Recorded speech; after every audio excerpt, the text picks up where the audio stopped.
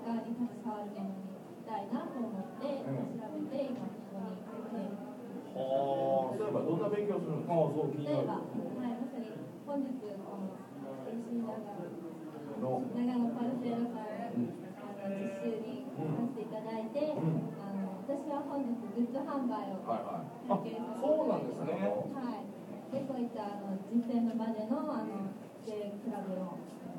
運営方法だったり、うんいろんなスタジアムのどんな施設だったりとかをおーから見学させていただいて、ええはい、いろいろ勉強させていただいてます。